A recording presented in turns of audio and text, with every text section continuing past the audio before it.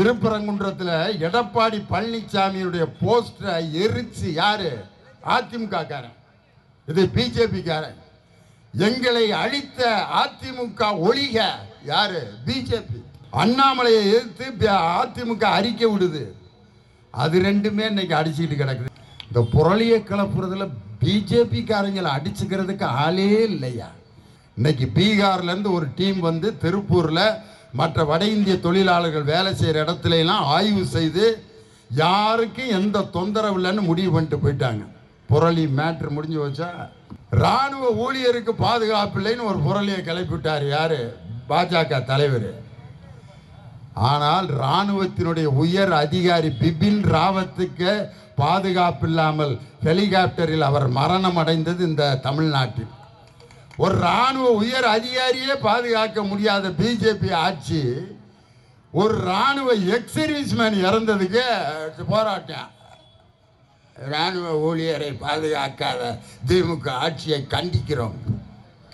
நீங்கள் தொடர்பு கொள்ளும் வாடிக்கையாளர். தற்சமயம் தொடர்பு எல்லைக்கு வெளியே இருக்கிறார். பொம்பளை பிள்ளை உரல் தான் ரயில்வே ஸ்டேஷனில் அறிவிக்கிறதெல்லாம் யாரு? பதினாறு முப்பத்தி ஆறு பாண்டியன் எக்ஸ்பிரஸ். இன்னும் சற்று நேரத்தில் எக்மோர் பிளாட்ஃபாரம் மூன்றில் வந்து கொண்டிருக்கிறது. பொம்பளை பிள்ளை பொருள் தான் ஏன் ஆம்பளையை தேர்ந்தெடுக்கலை? எல்லா இடத்துலையும் ஏர்போர்ட்டில் announcement the flight IndiGo from Trichy to Chennai is arrival of the platform number six two three அப்படின்ட்டு அந்த பிள்ளையை தான் அறிவிக்குது. ஆம்பளைய பெரும்பாலும் எதையும் அறிவிக்கிறதில்ல. எப்போ அறிவிச்சிட்டு இருந்தாங்கன்னா ஒரு காலத்தில் ராஜாவுக்கு முரசல் இதனால் சகலமானவர்களுக்கும் தெரிவிப்பது என்னவென்றால் அவங்க அறிவித்தது சரியில்லைன்ட்டு இப்போ பெண் குரல்களில் தான் அறிவிப்பு வந்துட்டு இருக்கு. பெண்களை பற்றி பாடல்கள் எவ்வளவு இருக்கு நீங்கள் பார்த்துருக்கீங்களா பெண்களை பாராட்டுகின்ற பாட்டு. இலக்கியத்தில் என்ன சொல்கிறாங்க மங்கையராய் பிறப்பதற்கே நல்ல மாதவம் செய்திடல் வேண்டும் அம்மான்னார் பட்டங்கள் ஆள்வதும் சட்டங்கள் செய்வதும் பாரினில் பெண்கள் நடத்த வந்தோம். எட்டும் அறிவினில் ஆணுக்கு பெண் இங்கு இழைப்பிள்ளை கான் என்று கும்மியடி என்று தேசிய கவி பாரதியினுடைய பாட்டு. இன்னைக்கும் கிராமங்களில் காளியம்மன் கோயில் இருக்கான் மாரியம்மன் கோயில் இருக்கான் திரௌபதி அம்மன் கோயில் இருக்கான். எங்கேயாவது மாரியப்பனுக்கு கோயில் இருக்கா? மாரியப்பன் கோயில் கிடையாது. காளியப்பனுக்கு கோயில் இருக்கா? காளியம்மன் கோயில் மாரியம்மன் கோயில்னு பெண்களை தெய்வமாக வழிபட்ட நாடு நம் தமிழ்நாடு. அதே மாதிரி கலாச்சார அடையாளங்கள் எல்லாம் பெண்கள் தான் சுமந்திருக்காங்க. நம்ம திருமணம் முடித்த இந்த திருமண அடையாளங்கள் ஆம்பளைகளுக்கு யாருக்காவது ஏதாவது ஒன்று இருக்கா? கல்யாணம் முடித்தவனா முடிக்காதவனாங்கிறதுக்கு ஏதாவது ஒரு அறிகுறி ஆம்பளைகிட்ட இருக்காயா? ஒரே ஒரு மொழி வேணா இருக்கு. இந்த இப்படி திருட்டு மொழி முழிச்சுக்கிட்டு இருப்பேன். அதை வச்சு கண்டுபிடிச்சிடலாம் கல்யாணம் ஆயிடுச்சா எப்படி நான் கண்டுபிடிச்சதா? முடிச்சுக்கிட்டு உட்காந்துருக்கேல அப்படின்னு. அதனால தான் கல்யாணம் முடித்த ஆம்பளையில் ஃபேமிலி மேன் அப்படின்னு ஏன்னு சொல்கிறான்னா பேமொழி முழிச்சுக்கிட்டு இருக்கிறதுனால தான் பேமொழி மேன் அவ்வளோதான் ஆனால் அடையாளங்கள் பூரா யாருன்னா பெண்கள் தான் சமந்துருக்கிட்டு இருக்காங்க. தாலி குங்கும பொட்டு அது இங்கே ஒரு பொட்டு இந்த கோட்டுக்கு நடுவில் ஒரு பொட்டு வச்சுருப்பாங்க. நான் திருமணம் முடித்த பெண்கள்கிட்ட கேட்டேன் இங்கே ஒரு பொட்டு வச்சுருக்கீங்க கோட்டுக்கு நடுவில் ஒரு பொட்டு எதுக்குமா?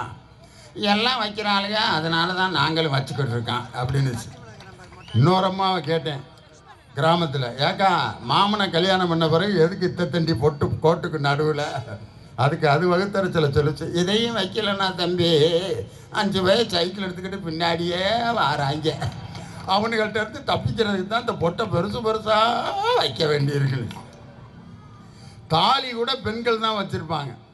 அதில் அவங்க சாமி கும்பிட்றப்ப அந்த விபூதியை வாங்கி இங்கே கொஞ்சம் வச்சுட்டு அந்த செவுத்து பக்கம் திரும்பி தாலியை மறைச்சிக்கிட்டு அதில் முழுவண்டு குங்குமத்தை வச்சு இப்படி கண்ணில் ஒத்திக்கிடுவாங்க ஒரு அக்காட்ட கேட்டேன் ஏக்கா தாலி மேலே இப்படி குங்குமத்தை வச்சு அழுத்து அழுத்துன்னு அழுத்துற. அப்படின்னு அதுக்கு சொல்லிச்சு அதில் அவங்க இருக்காங்க.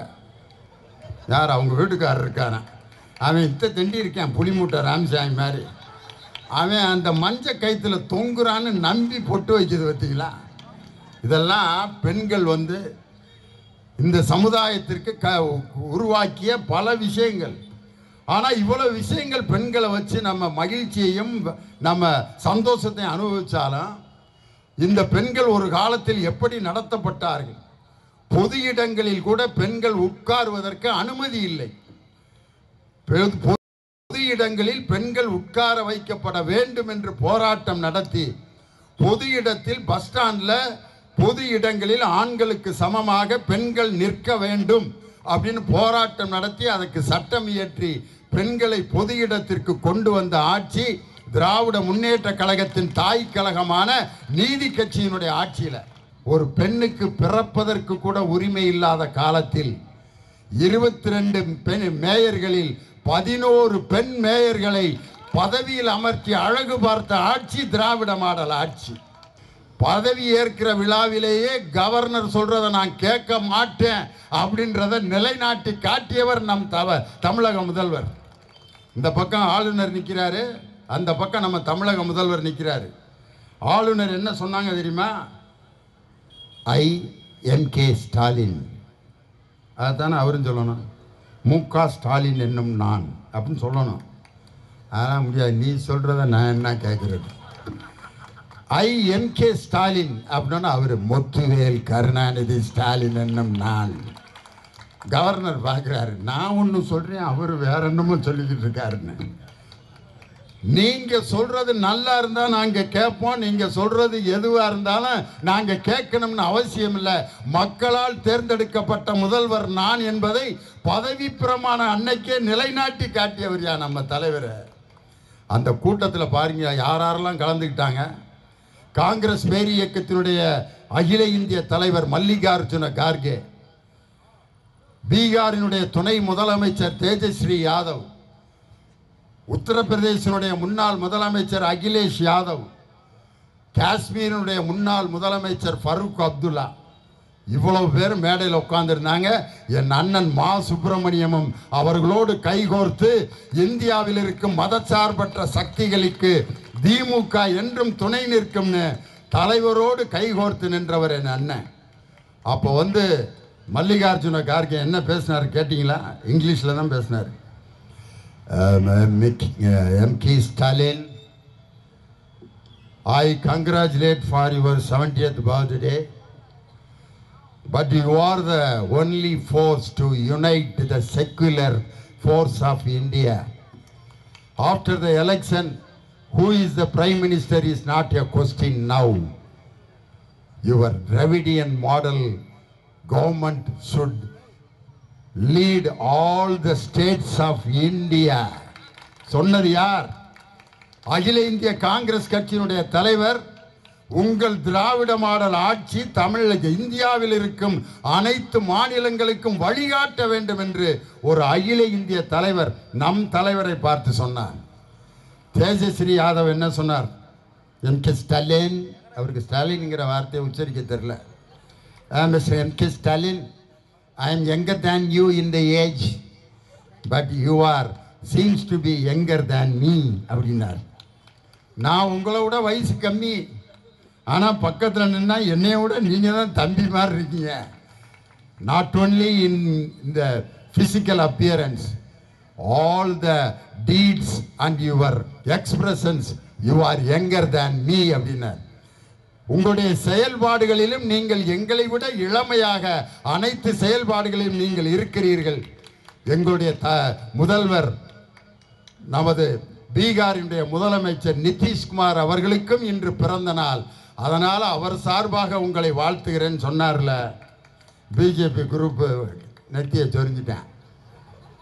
பீகாரும் தமிழ்நாடும் ஒன்று சேர்ந்துருச்சுடா. முக்கியமானதை சேர்த்துட்டாங்க. இதை எப்படியாவது உடைக்கணும்னு ஒரு ஐடியா பண்ணேன். பீகாரில் இருக்கும் வட இந்தியர்களை தமிழர்கள் கொலை செய்கிறார்கள். அச்சுட்டான் திருப்பூர்ல ஒரு பீகார்ல இருக்க இளைஞன் ரயில் அடிபட்டு சாகிறான். அவனை ஃபோட்டோ எடுத்து பரப்புனான். என்னன்னு? தமிழர்களால் கொலை செய்யப்பட்ட பீகார் இளைஞன். அடிச்சுட்டான் இந்த புரளியை கிளப்புறதுல பிஜேபிக்காரங்களை அடிச்சுக்கிறதுக்கு ஆளே இல்லையா? செவனேன்னு உட்காந்துருந்த பிள்ளையார பாலை கொடுத்து குடிக்க வச்சவங்க அவங்க தானே. ஒரே நாளில் தமிழ்நாடு முழுவதும் அவர் அழுவுறாரு பிள்ளையார். நான் பாட்டுக்கு இருக்கேன் என்னையே ஏன்டா பாலை குடிக்க சொல்கிறீங்கன்னு கொதிக்க கொதிக்க அந்த பிள்ளையார் சிலையில் வச்சோன்னா அவர் உருங்குடா ஏன்டா அப்படின்ட்டு பிள்ளையாரை பால் குடிக்க வைத்த பிஜேபி ஆட்சி அந்த கட்சி எத்தனை புரளி. அந்த புரளி என்பது நிறுவனமாகி எங்க திண்டுக்கல்ல மட்டும் ஏழாயிரம் வட இந்தியர்கள் திண்டுக்கல்லிலே தொழிலாளர்களாக வேலை பார்த்து கொண்டிருக்கிறார்கள்.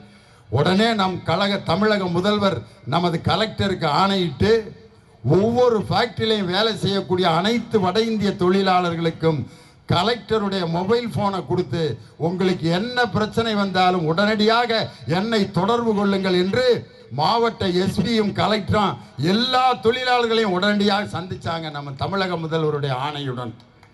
இன்னைக்கு பீகார்லேருந்து ஒரு டீம் வந்து திருப்பூரில் மற்ற வட இந்திய தொழிலாளர்கள் வேலை செய்கிற இடத்துலலாம் ஆய்வு செய்து யாருக்கும் எந்த தொந்தரவு இல்லைன்னு முடிவு பண்ணிட்டு போயிட்டாங்க. புரளி மேட்ரு முடிஞ்சு வச்சா இன்னொரு புரளியை கிளப்புனாங்க பாருங்க. ராணுவ ஊழியர் திமுக பிரமுகரால் கொலை செய்யப்பட்டார்.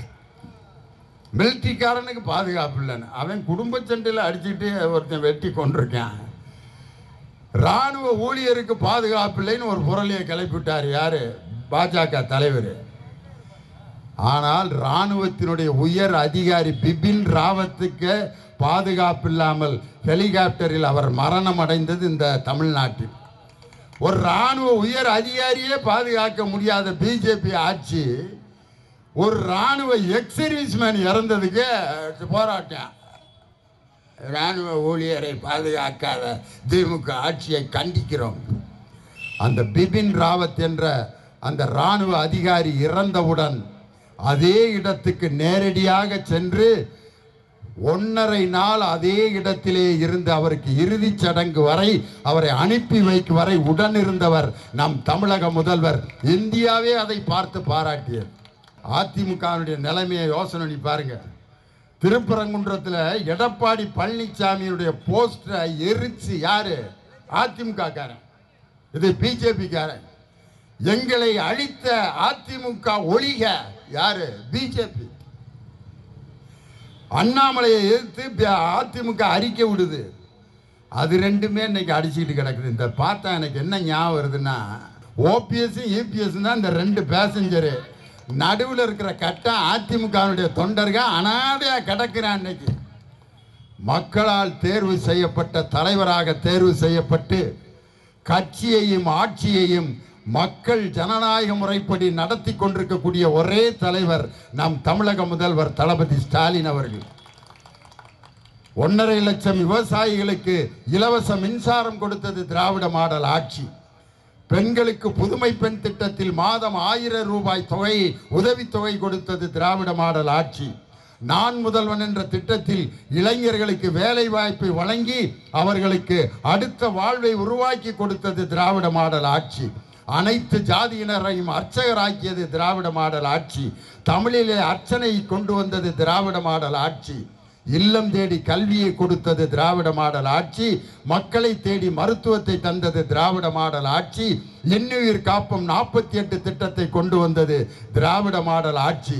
இந்த திராவிட மாடல் ஆட்சி தான் டெல்லியிலே பார்த்தால் செங்கோட்டைக்கு அருகே ஒரு திராவிட கோட்டை. டெல்லியிலே அறிவாலயம் திமுக கொடி பட்டொளி வீசி டெல்லியிலே பறந்து கொண்டிருக்கிறது. இது எதை காட்டுகிறது என்று சொன்னால் வருகின்ற ரெண்டாயிரத்தி இருபத்தி நாலு தேர்தலில் எங்க தங்க தலைவர் தளபதியார் யாரை அடையாளம் காட்டுகிறாரோ அவர்தான் பாரத நாட்டினுடைய பிரதமர் ஆவார் என்பதற்கு எடுத்துக்காட்டு இது என்பதை சொல்லி வருகின்ற ரெண்டாயிரத்தி இருபத்தி நாலு தேர்தலுக்கு அச்சாரம் கூட்டும் அந்த பிரச்சார கூட்டத்தின் துவக்க விழாவாக இதை கருதி உங்களிடமிருந்து விடைபெறுகிறேன்.